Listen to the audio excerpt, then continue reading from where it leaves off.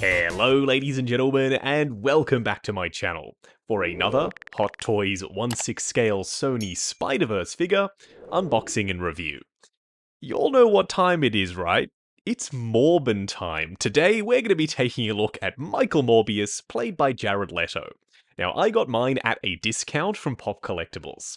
As always, do your own research, make sure you are comfortable before buying. I have popped the link to their site in the description below, along with the discount code Justin's Collection for 5% off your order if you do decide to buy from them. While you're down there, why not hit that subscribe, bell notification icon, and join button so you're notified as soon as a brand new Hot Toys 1-6 scale figure review goes live on the channel. As for the box art, I like it, even though it is relatively simple, and of course, it's Morbius. We have an image of, I think, the figure himself front and center, because that moustache looks very sculpted to me, and he's emerging out of this red and blue colored smoke, which represents, number one, how they travel around in the movie through those smoke trails, and number two, red for real blood and blue for the fake stuff. And then they've added these subtle circles just around the front of the box, as though he's using some kind of echolocation or something. We have high gloss for the Morbius movie logo, whereas the rest of the artwork is done in more of a satin finish. The circles do continue their way around the side of the box, they are a little bit more pronounced here, and then of course you can see more of the red and blue smoke. Round the back is pretty boring, you just have a bit more of those circles, they do disappear in the middle though, and some warnings and legal information. Whereas underneath the slipcover, an open window showcasing Michael Morbius inside, and I'm already loving that little pop of purple on the inside of his coat. Oh yeah, this is way nicer than what was on the back of the box on the outside on the slipcover. We've got a couple of product shots of Morbius, you can see his effect pieces, and the bats.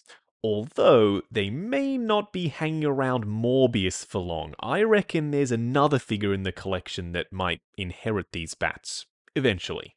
I didn't mean to make it sound all cryptic like that. I planned to give the bats to Batman from Batman Begins, just because of the way that he uses the bats in that film.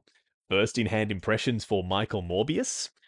So far, so good. He feels surprisingly hefty, and that purple is just poppin'. What we are going to do now, though, is get all of his accessories laid out in the lightbox and take a closer look at everything he comes with. Starting off with the display base first, which is done in the typical Hot Toys hexagonal style. It's quite low profile, so it's not going to add a ton of height to him in the display and it's very understated. It's got this almost black artwork up on top, but when the light hits it, you can see that it's more of a navy blue. We've got the Morbius movie logo, a high gloss section off to one side, and a matte textured swarm of bats on the other. Then for the nameplate, Michael Morbius. Up top, we have a bendable flight pole, plus a spring-loaded waist clamp.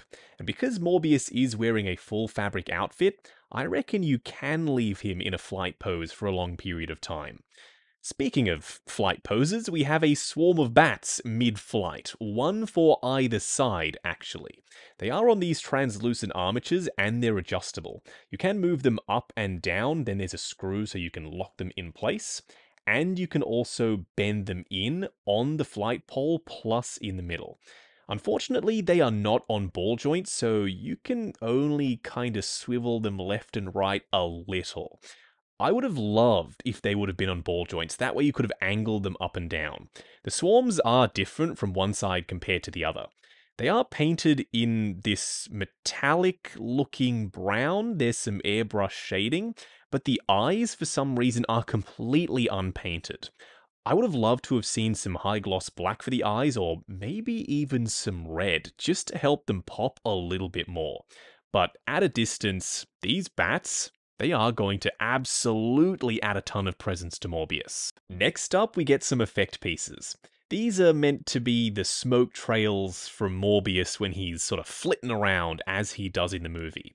They're cast in translucent purple plastic and they are significantly darker towards the bottom compared to the ends of the smoke trails. That, I think, is going to help them blend in a little bit more with his outfit when we pop them on him later on. And lastly, one extra set of hands. There's skin texture on the surface, you've got shading on the very long, nasty looking fingers, plus some spiky nails.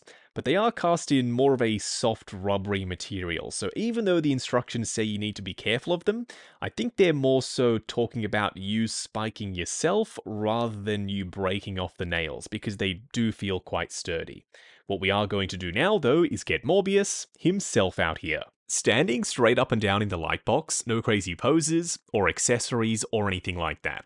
Now, I probably waited way too late in the video to say this, but we are not reviewing the movie Morbius. We are reviewing this figure, so I'm not going to attach any of that film baggage to this release. I'm just going to talk about him from a pure figure perspective. At least I'm going to try to. This is a really good release, surprisingly. He's not perfect, we do have a couple of things to discuss, but for the most part, I think they nailed it. They got the creepy factor. They've given him the effect pieces. The coat is wired. The proportions to me look about right. And because he's wearing a full fabric outfit, I don't think posability, for the most part, is going to be a massive issue. Up close and personal, kicking things off with Morbius's head sculpt. Dude looks absolutely pissed. They nailed the expression and the detail, in my opinion. There's skin texture everywhere. He's got shading in the wrinkling, a 5 o'clock shadow, a lot of depth to his mouth because his tongue is set back all the way in there. And everything inside his mouth is painted to look slightly glossy, so it comes across even more realistic. But my favorite detail has to be the eyes. When you tilt the head sculpt forward and you have these piercing red eyes looking up at you from underneath this very defined brow bone, yeah, he looks like he wants to tear your head off, which is perfect for the living vampire. The head sculpt itself, though, we have flipped him round because I do want to discuss what's back here, isn't quite perfect. The hair looks great. You have flow to it. You can see how he's got this center part. There's texture. You have these little dangling pieces down below and straight up holes poking through it where you can make out his outfit. But it's solid rubbery plastic, so for range of motion, it's going to be super limited. I like the way it hangs and how it frames his face, but I think they could have gone rooted. And I know nobody would have bought it, but let's be honest, I don't think many people are going to buy it anyway. So if they had gone rooted and had these little curls, you would have had maximum range of motion, and it would have looked even better. Now, after I've said all of that, I think the number one question we have to answer is Does it look like Jared Leto? No, I don't think it does, and honestly, I'm fine with that. Going with the more creature look for Morbius, I think was the right call. For me, I should add that, for me personally, because if you do want to immortalize Jared Leto as Michael Morbius in your display and this isn't doing it for you, you have a pretty good starting point with this figure. Switch out the hands, commission yourself a head sculpt, and you're pretty much done. You're going to have an accurate Michael Morbius. I personally just like the way he looks out of the box with the creepy head sculpt, although I might get the head sculpt rooted eventually. The outfit itself is quite straightforward, although it is interesting at the same time. You've got these crisscrossing straps and the metallic shiny purple lining somehow, some way, I have to figure out how to have this purple lining just popping through, because when he's standing there, most of it is hidden, so maybe I'll use the wires along the front to reveal it a little bit more. If only it made its way towards the front of the jacket more so than it actually does. Tucking it right back there means that it is very hidden. There is this herringbone pattern on the jacket and some real working pockets. Now, a little handy tip if you find that he looks like he has no shoulders, you can pull the jacket up so it does square him off, as you can see on this side, making him look way more menacing. With them slumping down like that, he kinda just looks like Morbius the bored vampire, and that's not the look that I'm planning on going with. Now, the shirt itself is just a straight black shirt, but you can unbutton it, and there is skin texture and detail, even some hair sculpted in but not painted, all the way down to around his midsection. And the skin tone does perfectly match the head sculpt, so if you do want to have the shirt flared open, that is totally an option. To install his smoke trail effect pieces, it is pretty straightforward, and they do add a nice pop of purple to an otherwise very black outfit, them coupled with the lining of his jacket, of course. You literally just wrap them around his limbs. Now, they are specifically labeled, this one says R1, So if you're following the instructions, they do tell you exactly where to put them, so which piece goes on which limb. Okay, so the arm ones are sick. They are 100% staying on him in my display. But the leg ones, probably not so much. I just don't vibe with them. These sticky outy pieces, they look like something is growing out of his leg rather than a smoke trail, which is what they're supposed to be. This one snaps onto his left thigh, whereas this one goes on his right calf. I like the idea of them, but I think the arm ones work better having the spikies be translucent, then the bottom of it be darker, it looks like it's actually forming out of his black jacket. Coming down to his pants, they're just black cargo style trousers, but the pockets are stitched shut, so you can't open them up and pop anything in there. I do like this little attention to detail. Having the pants be slightly too short and the edges tattered, that makes it look like Morbius has grown in his normal clothes and now he doesn't fit them anymore. So, like I said, a really nice attention to detail. He's got some actual socks underneath the pants, and then the shoes have some light dry brushing over the top, so the sculpt work does pop. On the underside, some sculpted tread with again more dry brushing down here. For a quick side by side comparison, on the left, Morbius, on the right, Spidey in his upgraded suit. As you can see, Morbius is a little bit taller than Spidey. I don't think he's tall enough though. In real life, Jared Leto is 5'11, whereas Tom Holland is 5'7. And Morbius does have some pretty thick soled shoes on. I reckon Morbius is a touch underscaled. Not enough to upset the entire display, just something to be aware of. Next up, this is the comparison I've been most excited about because this is who I'm going to have Morbius paired up with in my display. It's Present Toys Blade. He's also a pretty good stand in for the Hot Toys one if you missed out on that back in the day. As you can see, Blade is ever so slightly shorter than Morbius. Going over articulation, starting off with his head sculpt. Even though it is on a separate neck with a double ball peg up underneath the head itself, because of the solid sculpted plastic hair around the front and back, you're not going to get a ton of range. Looking forward to there, looking back to there, so pretty much not at all, swivel, and a touch of pivot side to side. His arms do go up to there, going forward and back. He is wearing multiple layers though, so just do some futzing after you've dialed in the pose butterfly joint at the shoulder that hinges up and down, swivel at the bicep, double bend at the elbow going past 90, and then for the wrist peg, it's a hinge and swivel. His torso will crunch forward on two joints to there, going back to there, swivel, and pivot side to side. I can't feel a lot of padding underneath his trousers, and this is quite thin and lightweight fabric, so I don't think it's going to get in the way of range of motion. Going forward to there, you can push the pants up to get them to go slightly further forward, Going out to there, swivel at the upper thigh, ratcheted double bend at the knees going past 90, and a double ball peg for the ankles, which is good for forward and back, swivel, as well as ankle tilt. Moving on to the three cool and three annoying things. The first annoying thing is even though I adore this head sculpt, it should have had moving eyes. I mean, it is so restricted because of the hair, you can barely get this thing to move around. So being able to have posed the eyes off to the side a little, I think that would have made up for it. The second annoying thing, and I know this isn't Hot Toys' fault, this is Sony's fault because it has to do with the character design. Hot Toys tried their best. The head sculpt is insane, you get effect pieces and bats, and this metallic purple lining on the inside of the coat.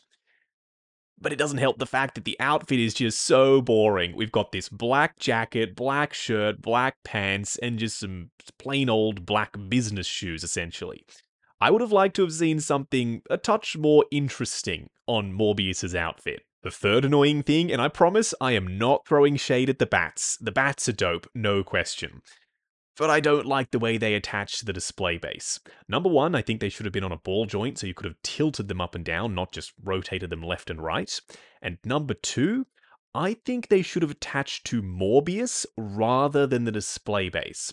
That way you're not tied to having to use the flight pole. These would have been a lot more versatile. The first cool thing, and I know I said the outfit is boring, I stick by that. I think the costume design could have taken a couple more passes.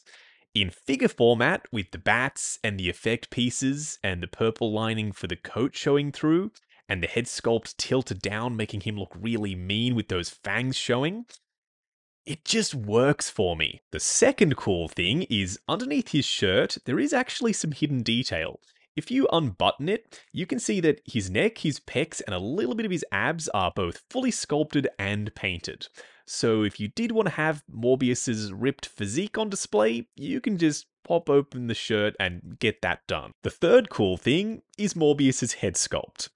If you had told me back when the film first came out that when the figure released, I would be claiming that this is one of Hot Toys' best head sculpts ever, yeah, I wouldn't have believed you. I would have thought that was crazy talk.